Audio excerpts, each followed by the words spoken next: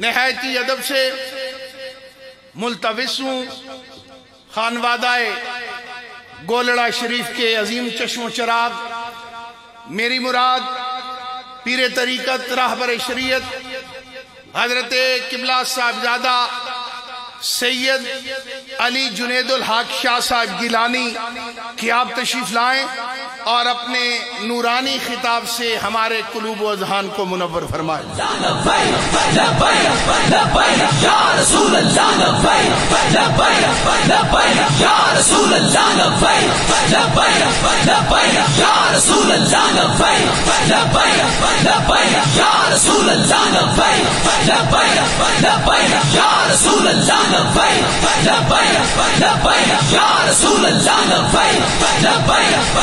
या रसूल अल्लाह लब्बैक लब्बैक लब्बैक या रसूल अल्लाह लब्बैक लब्बैक लब्बैक या रसूल अल्लाह लब्बैक लब्बैक लब्बैक या रसूल अल्लाह लब्बैक लब्बैक लब्बैक या रसूल अल्लाह लब्बैक लब्बैक लब्बैक या रसूल अल्लाह लब्बैक लब्बैक लब्बैक या रसूल अल्लाह लब्बैक लब्बैक लब्बैक या रसूल अल्लाह लब्बैक लब्बैक लबैक या रसूल अल्लाह लबैक लबैक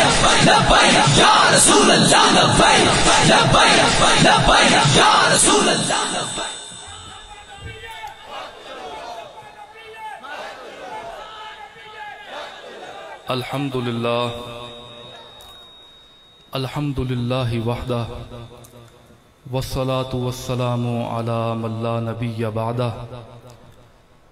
वाला आलि व असहाबी अजमाइन अम्माबाद फ़ाऊज़बिल्लामिनशैतरजीम बसमिल्लाम कुल हल यस्तविल्लज़ीन यालमून वल्लज़ीन ला यालमून। सदक़ल्लाहु मौलानज़ीम इन अल्लाह व मलाइकतहु युसल्लून अलन्नबी या अय्युहल्लज़ीना आमनू सल्लू अलैहि व तस्लीमा। अल्लाहुम्म सल्लि अला मुहम्मदिन व अला आलि मुहम्मदिन व बारिक व व सल्लि अलैहि। नहायत वाजिबुल एहतराम, उलमाए किराम सादात इज़ाम और जुमला हाजरीन व शुरकाय महफिल। सबसे पहले तमाम आलम इस्लाम को माह अव्वल की आमद की पर और ईद मिलादुलनबी की मुबारकबाद मैं पेश करता हूँ। ये वो अज़मतों का और रहमतों का महीना है। जिस महीने में ख़ातमनबीन सैदुल्लवलीन वल्लाखिरीन शफ़ीउलमुज़नबीन हमारे आका मौला, हज़रत मोहम्मद मुस्तफ़ा अहमद मुशतबा सल्लल्लाहु अलैहि वसल्लम, इस दुनिया रंगबू में तशरीफ़ लाए। और इस दुनिया में तशरीफ़ लाने के बाद इस जुल्मत कदा को नूर हिदायत से मुनवर फरमाया। इसके बाद दूसरी मुबारकबाद, बिलखसूस मैं सैयद ज़ियाउल हक शाह साहब को पेश करता हूँ। कि इन्होंने रावलपिंडी के इलाके में, इस शहर में ऐसे मदारिस की बुनियाद रखी है, जहाँ से तालीम भी मिलती है और अदब भी मिलता है। मुझे याद है, मैं आपसे एक बात शेयर करना चाहता हूँ कि जब मैंने दरस निज़ामी का आगाज़ किया तो मेरे उस्ताद मुकर्रम अल्लामा मुफ्ती मुश्ताक अहमद चिश्ती साहब रहमतुल्लाह अलैह, जब किताब शुरू कराने लगे तो अभी किताब खुली नहीं थी कि वो मुझसे कहने लगे कि हज़रत, आप किताब पढ़ लेंगे, आपको इल्म भी हासिल हो जाएगा। लेकिन ये तमाम इल्म बेसूद है, इसका कुछ फ़ायदा नहीं। अगर आप में अदब ना हुआ तो। तो वो बात मुझे आज अपने उस्ताद करीम की याद आती है, क्योंकि वो हज़रत बाबूजी रहमतुल्लाह अलैह की तरबियत में रहे और उनसे फैज भी हासिल करते रहे। तो मैं समझता हूँ कि ये उस तरबियत का असर है कि उन्होंने मुझसे ये बात की। आज जितने तलबा दरस निज़ामी की तकमील करके सनदें हासिल करेंगे, मैं बिलखसूस उनसे मुखातिब होकर ये बात कहना चाहता हूँ कि आप अदब को हर हवाले से, हर जगह पर मलहूज खातिर रखें।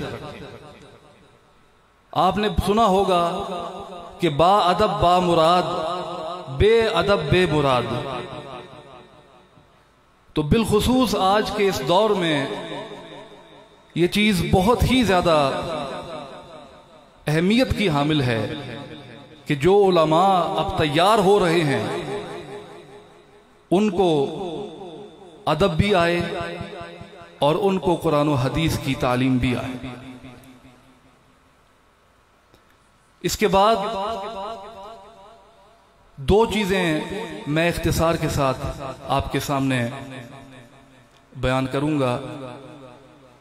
यहाँ अहल सुन्नत व जमात की मुक्तदर शख्सियात मौजूद हैं और जिस तरह अभी अल्लामा डॉक्टर साजिदुर्रहमान साहब ने बयान फरमाया और बिल यकीन आपको इंतज़ार होगा अल्लामा मुफ्ती मुनीबुररहमान साहब का खिताब सुनने के लिए।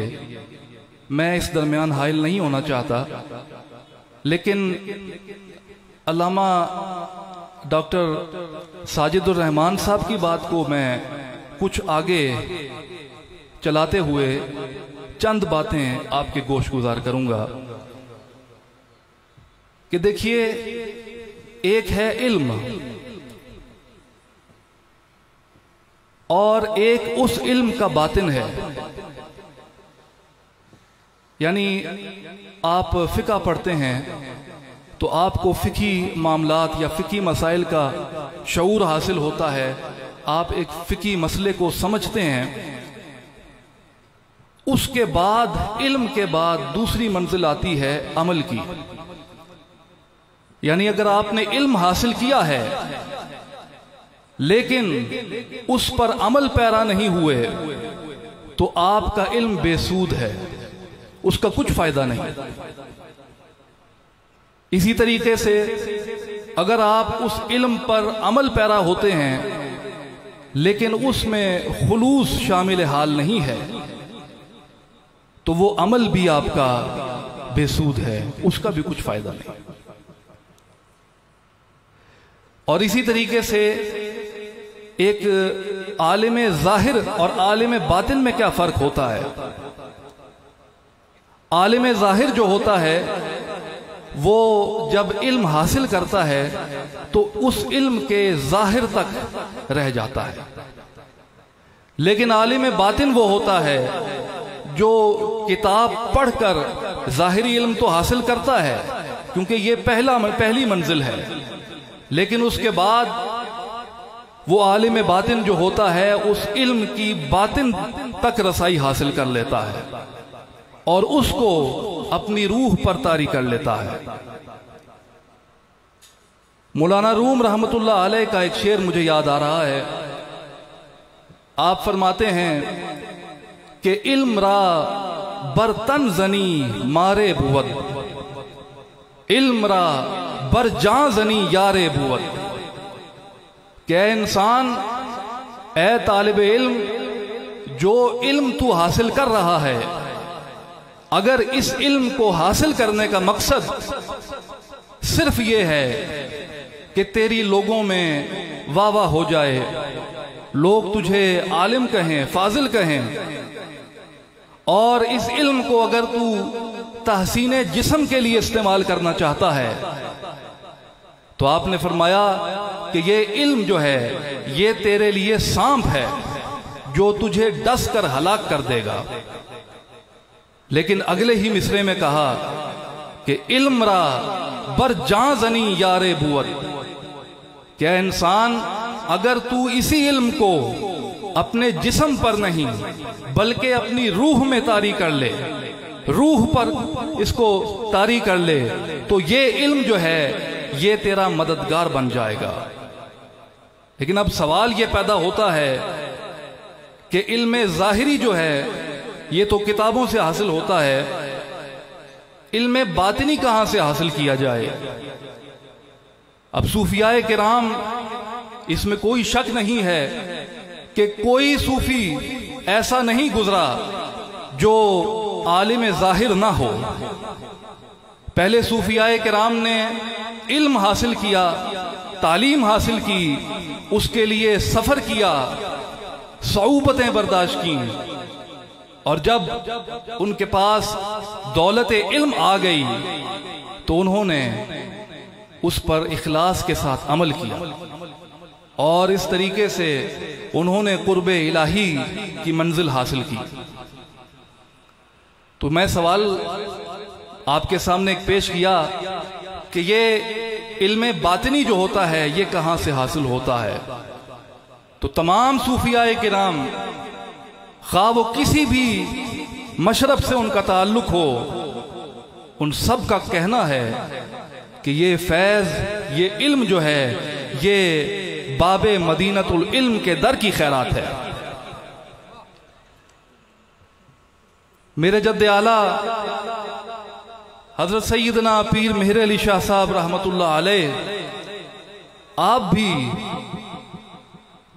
पहले इल्म ज़ाहिर हासिल करते रहे और तवील सफ़र तय करते रहे इल्म के हसूल के लिए। शेख सादी ने कहा था, चू शमा अज पे इल्म बायत गुदाख्त के बे इल्म नतवा खुदारा शनाख्त। कि इल्म हासिल करने के लिए मोम की तरह पिघलो, कि बगैर इल्म के इंसान को खुदा की पहचान भी नहीं हो सकती। तो ये इल्म की अहमियत है। तो पीर मेरली शाह साहब अलैह, अव्वलन जब मुल्क के तूलो अर्ज़ में इल्म के हसूल के लिए सफ़र करते रहे, और बिल आखिर जब वापस गोलरा शरीफ मसनद इरशाद पर मुतमक्न हुए तो उसके बाद आपने जब दरसो तदरीस का अमल शुरू किया तो तालब इल्म हजरात उस वक्त जो मौजूद होते थे, वो इल्म ज़ाहरी का मज़ा भी लेते थे और इल्म बातनी की खैरात भी हासिल करते थे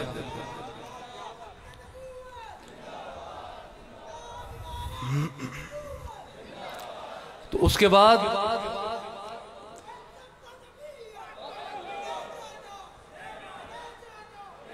उसके बाद जब मिर्ज़ा कादियान ने अपनी झूठी नबूवत का दावा किया और उलमाए इस्लाम को ललकार कर कहा कि कोई निकले मेरे मुकाबले में और कोई कोई ऐसा शख्स निकले, खा में हो, खा मशाइख में हो, जो मेरे इन दावों को दावों को रद्द करे। तारीख इस बात की गवाह है कि उस वक्त अगर कोई मर्द कामिल निकला है तो वो हैदर कर्रार का बेटा मेहरे अली निकला है।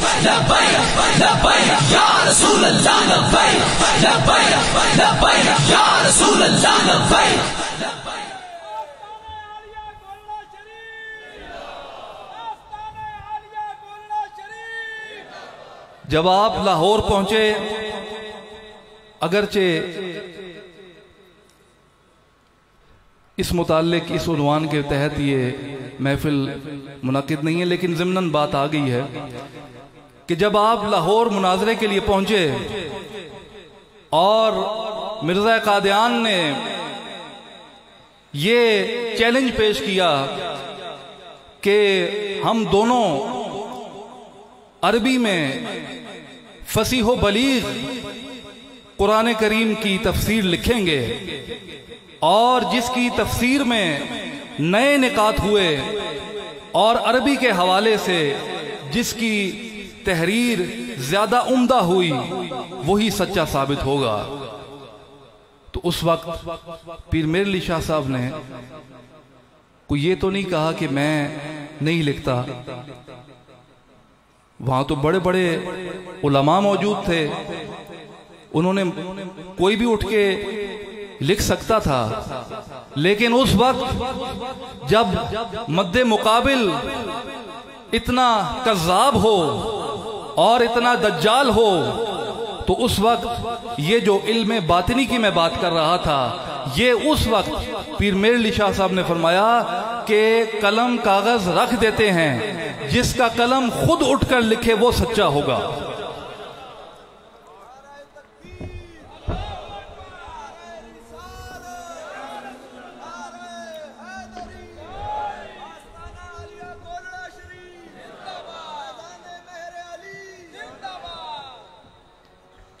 तो इल्म बातिनी की अहमियत का अंदाज़ा आप इस हवाले से लगा सकते हैं।